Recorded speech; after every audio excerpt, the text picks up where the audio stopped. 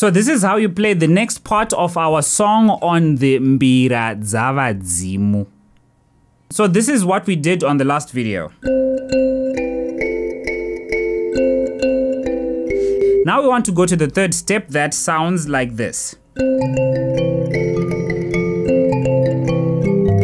But one interesting thing about the Mbira Dzavadzimu is on the left hand side there's a top row and there is a second row. And the second row has the bassier notes which are also the bigger brothers of the notes that are on top. So the bigger brother of the first note is on its right hand side at the bottom.